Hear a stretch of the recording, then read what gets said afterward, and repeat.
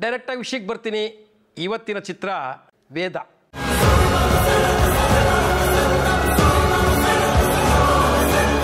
ಶಿವರಾಜ್ ಕುಮಾರ್ ಅಭಿನಯದ ಎ ಹರ್ಷ ನಿರ್ದೇಶನದ ಚಿತ್ರ ಇವತ್ತು ತೆರೆ ಮೇಲೆ. ಎಂದಿನಂತೆ ಚಿತ್ರದ ಕತೆ ಚಿತ್ರದ ಕತೆ ಸೇಡು. ನಾಯಕ ತನ್ನ ಕುಟುಂಬಕ್ಕೆ ಆದ ಅನ್ಯಾಯದ ವಿರುದ್ಧ ಸೇಡ್ ತೀರಿಸ್ಕೊಳ್ಳೋದು. ಅಷ್ಟೇಯ ಹಂಗನ್ಬಿಟ್ರೆ ನಮ್ಮ ಮನಸ್ಸಿಗೆ ಮುಗೀತದ?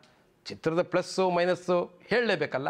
ಚಿತ್ರದ ಪ್ರಾರಂಭದ ದೃಶ್ಯಗಳಲ್ಲಿ ನಾನ್ ಲೀನಿಯರ್ ಕತೆ ಹೇಳುವ ರೀತಿಯಲ್ಲಿ ಕೆಲವು ಕಡೆ ಸ್ವಲ್ಪ ಕುತೂಹಲ ಹುಟ್ಟಿಸಿದ್ರು ಬಹುಪಾಲು ಪ್ರೇಕ್ಷಕನು ಊಹಿಸಿದಂತೆಯೇ ಚಿತ್ರ ಮುಂದುವರಿತದೆ. ಹೆಣ್ಣಿನ ಒಪ್ಪಿಗೆ ಇಲ್ಲದೆ ಮದುವೆ ಆಗುವುದು ಯಾವ ಕಾಲದಲ್ಲಿದ್ದಾರಪ್ಪ ನಿರ್ದೇಶಕ ಅನ್ನುವ ದೃಶ್ಯ ಇದ್ದರೂ ಮುಂದಿನ ದೃಶ್ಯಗಳಲ್ಲಿ ಅದನ್ನು ಸರ್ಪ್ರೈಸಿಂಗ್ ಆಗಿ ಡೈರೆಕ್ಟ್ರು ಅವ್ರ ರೈಟಿಂಗಲ್ಲಿ ಮುಂದಿನ ಆ ಟ್ರೀಟ್ಮೆಂಟು ಬೇರೆ ಥರನೇ ಮಾಡಿದ್ದಾರೆ.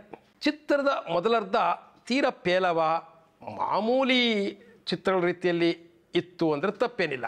ಹೆಂಗಪ್ಪ ಇನ್ನೂ ಈ ಸೆಕೆಂಡ್ ಹಾಫ್ ತಡ್ಕೊಳ್ಳೋದು ಅಂತ ಸಾನೆ ಫೀಲಿಂಗ್ನಲ್ಲಿ ಕೂತಿದ್ರೆ ಸೆಕೆಂಡ್ ಹಾಫ್ ನಿಜವಾಗಿಯೂ ಕೆಲವು ದೃಶ್ಯ ಸಂಯೋಜನೆ ಚಿತ್ರಕಥೆ ಬೆಳೆಸಿದ ರೀತಿ ಅಲ್ಲಿ ನಡೆಯುವ ಆ ರೈಟಿಂಗ್ ಸ್ವಲ್ಪ ಖುಷಿ ಮತ್ತು ರಿಲೀಫ್ ಕೊಟ್ಟಿದ್ದಂತೂ ಸತ್ಯ. ಒಂದು ಅಂಶ ಈ ಚಿತ್ರದ ಬಗ್ಗೆ ಹೇಳಲೇಬೇಕು.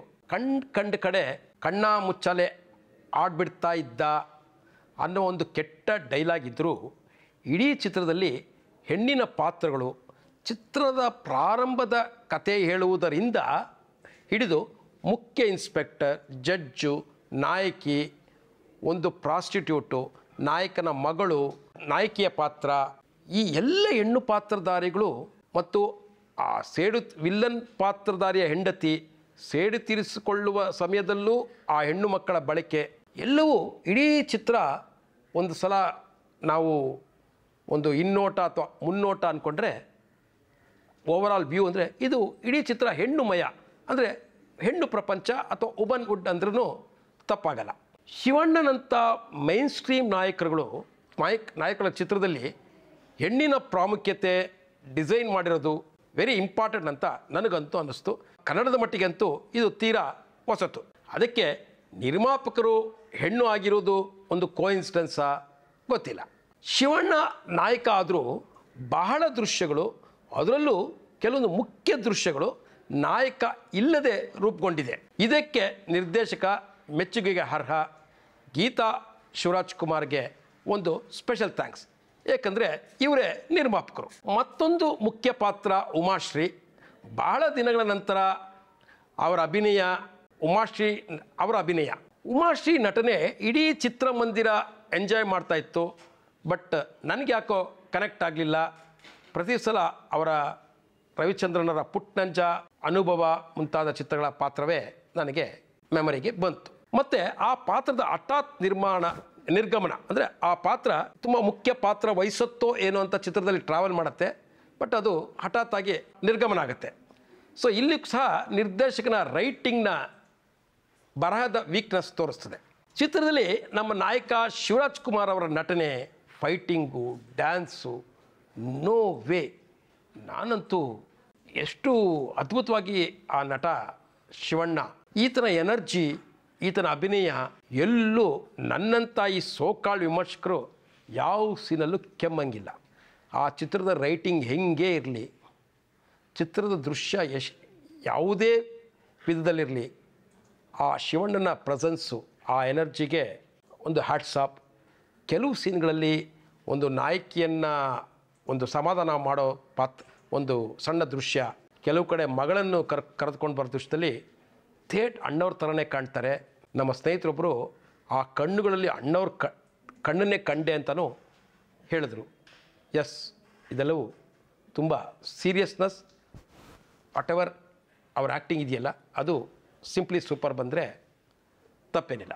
ಯಾವ ರೈಟಿಂಗ್ ಇಲ್ಲದೆ ಇರುವ ಪಾತ್ರಗಳಿಗೂ ಸಹ ಜೀವ ತುಂಬುವ ಈ ನಮ್ಮ ಶಿವರಾಜ್ ಕುಮಾರ್, ಈ ಹರ್ಷ ಅಂತವರಿಂದ ಬಿಡಿಸ್ಕೊಂಡ್ರೆ ಎಂತೆಂಥ ಒಳ್ಳೆಯ ಚಿತ್ರಗಳು ಬರಬಹುದು ಕನ್ನಡಕ್ಕೆ ಸ್ವಲ್ಪ ಯೋಚನೆ ಮಾಡಲಿ ನಮ್ಮ ಶಿವರಾಜ್ ಕುಮಾರ್. ಮತ್ತೊಂದು ಮುಖ್ಯ ಪಾತ್ರ ಅದಿತಿ ಸಾಗರ್ ಮತ್ತು ನಾಯಕಿಯ ಪಾತ್ರ. ಈ ಪಾತ್ರದ ರೈಟಿಂಗ್ ಗ್ರೇಟ್ ಅಲ್ದಿದ್ರೂ ಇಡೀ ಚಿತ್ರ ಅವರ ಮೂಲಕವೇ ಮುಂದುವರಿತದೆ. ನಿರ್ದೇಶಕ ಆ ಎರಡು ಪಾತ್ರಗಳನ್ನು ಬಳಸಿಕೊಂಡು ಇರುವ ಸೀಮಿತ ರೈಟಿಂಗ್ನಲ್ಲೇ ಆ ಎರಡು ಪಾತ್ರಗಳು ಸಹ ತಮ್ಮ ಪ್ರತಿಭೆಯನ್ನು ಹೊರಗಾಕಿದ್ದಾರೆ. ಇಲ್ಲಿ ಇನ್ನೊಂದು ವಿಷಯ ಹೇಳಬೇಕು. ಶಿವಣ್ಣನ ಚಿತ್ರಗಳಲ್ಲಿ ಇತ್ತೀಚಿನ ಎಲ್ಲ ಚಿತ್ರಗಳಲ್ಲೂ ಅಲ್ದಿದ್ರು ನಮ್ಮ ಟಗರು ಚಿತ್ರದಲ್ಲಿ ಡಾಲಿ ಧನಂಜಯ ಅವರ ರೋಲು, ಇಲ್ಲಿ ಅದಿತಿ ಸಾಗರ್ ಮತ್ತು ನಾಯಕಿಯ ಈ ರೋಲ್ಗಳನ್ನು ನೋಡಿದ್ರೆ ಶಿವಣ್ಣ ಅವರಿಗೆ ಒಂದು ಥ್ಯಾಂಕ್ಸ್ ಹೇಳಲೇಬೇಕು. ಏಕೆಂದರೆ ಇಷ್ಟೊಂದು ಸ್ಕ್ರೀನ್ ಸ್ಪೇಸು ನಮ್ಮ ಮಸಾಲಾ ಚಿತ್ರಗಳಲ್ಲಿ ನಾಯಕ ನಟರು ಬೇರೆಯವ್ರಿಗೆ ಕೊಡೋದಕ್ಕೆ ಒಪ್ಪಲ್ಲ. ಏಕೆಂದರೆ ಸತ್ಯರಾಜ್ ಅಂತ ಒಬ್ಬ ತಮಿಳಿನ ಜನಪ್ರಿಯ ವಿಲನ್ ಒಂದು ಸಂದರ್ಶನದಲ್ಲಿ ಈವನ್ ರಜನಿಕಾಂತ್ ಅಂತವರು ಸಹ ಸ್ಕ್ರೀನ್ ಸ್ಪೇಸ್ ಕೊಡಲ್ಲ ಅನ್ನುವ ಅರ್ಥ ಬರೋ ಥರ ಒಂದು ಸಂದರ್ಶನದ ಹೇಳಿ ಅದು ದೊಡ್ಡ ವಿವಾದಕ್ಕೆ ಸಹ ಕಾರಣ ಆಗಿತ್ತು. ಚಿತ್ರದ ಈ ಚಿತ್ರದ ತಿರುಳು ಅಥವಾ ಈ ಚಿತ್ರದ ಕತೆ ಏನಂತ ಅಂತೀವಿ, ಇದು ತಮಿಳಿನ ಸ್ಥಾನಿ ಕಾಯ್ದಂ, ಕನ್ನಡದ ಮಾಲಾಶ್ರೀಯ ಚಿತ್ರ ದುರ್ಗಿ, ಈ ಚಿತ್ರಗಳಿಂದ ಇನ್ಸ್ಪಿರೇಷನ್ ಆಗಿರೋದು ಸತ್ಯ. ಇದನ್ನು ಯಾರೂ ಅಲ್ಲಗಳೆಯೋದಕ್ಕಾಗೋದಿಲ್ಲ. ಬಟ್ ನಾನು ನೋಡ್ದಂಗೆ ಹರ್ಷ ಅವರು ಈ ಚಿತ್ರಗಳಿಗೆ ಕೊಡಬೇಕಾದ ಕ್ರೆಡಿಟ್ ಕೊಟ್ಟಂಗೆ ನನಗಂತೂ ಕಾಣಲಿಲ್ಲ. ವಿಲನ್ ಪಾತ್ರಧಾರಿಗಳ ನಟನೆ ಸ್ವಲ್ಪ ಸೀರಿಯಸ್ ಆಗಿ ರೈಟಿಂಗು, ಮೇಕಿಂಗಿಗೆ ಗಮನ ಕೊಟ್ಟಷ್ಟು ರೈಟಿಂಗ್ಗೆ ನಿರ್ದೇಶಕರು ತಲೆ ಕೆಡಿಸ್ಕೊಂಡಿದ್ರೆ ಈ ನಮ್ಮ ವೇದ ಒಂದು ಉತ್ತಮ ಮಸಾಲೆ ಚಿತ್ರಗಳ ಸಾಲಿಗೆ ಸೇರ್ತಾ ಇತ್ತು. Just missed. ಯಾಕೋ ಏನೋ ಜೈಲಿನಲ್ಲಿ ಶಿವಣ್ಣನಿಗೆ ಅವರೇಕಾಯಿನ ಸಾರು ಇಷ್ಟ ಅಂತ ನಾಯಕಿ ಕಳಿಸ್ಕೊಡ್ತಾಳೆ.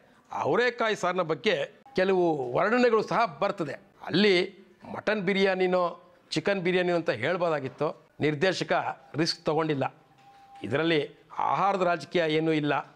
ದಯವಿಟ್ಟು ನಂಬಿ. ಚಿತ್ರದ ಕ್ಲೈಮ್ಯಾಕ್ಸ್ನಲ್ಲಿ ಒಂದು ಸಣ್ಣ ತಿರುವು, ಅದು ಬೇಡ ಆಗಿತ್ತು.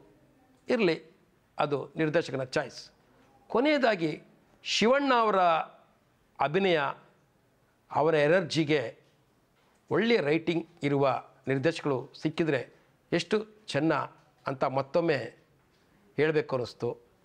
ಒಂದು ಸಂದರ್ಶನದಲ್ಲಿ ಸುದೀಪ್ ಹೇಳ್ತಾ ಇದ್ರು ನಮ್ಮ ಶಿವಣ್ಣನಿಗೋಸ್ಕರ ತುಂಬ ಜನ ಸ್ಕ್ರಿಪ್ಟ್ ರೈಟಿಂಗ್ ಮಾಡ್ತಾಯಿದ್ದಾರೆ ಅವರು ಶಿವಣ್ಣನ ತಲುಪೋದಕ್ಕೆ ಆಗ್ತಾ ಇಲ್ಲ ಅಂತ. ಮೇ ಬಿ ಅದು ನಿಜ ಇರ್ಬೋದು. ಎಸ್ ಮುಗಿಸೋದಕ್ಕೆ ಮುನ್ನ ಎಲ್ಲ ನಿರ್ದೇಶಕರ ಒಳಗೊಬ್ಬ ಪ್ರಶಾಂತ್ ನೀಲ್ರಂಥ ಮೇಕರ್ ಇರ್ತಾನೆ. ಕೆ ಜಿ ಎಫ್ ನೋಡಿದ ಮೇಲೆ ಹೊರಗೆ ಬರ್ತಾನೆ ಅಂತ ಶಶಿ ಪಾತೂರ್ ಅನ್ನೋರು ಎಫ್ ಬಿ ಎಲ್ಲಿ ಕಮೆಂಟ್ ಮಾಡಿದ್ದಾರೆ. ಯಾಕೆ ಅದು ಚಿತ್ರ ನೋಡಿದ್ರೆ ಗೊತ್ತಾಗ್ತದೆ. ಮುಂದಿನ ಚಿತ್ರದ ಅನಿಸಿಕೆಯೊಂದಿಗೆ ಸಿಗ್ತೀನಿ. Till then bye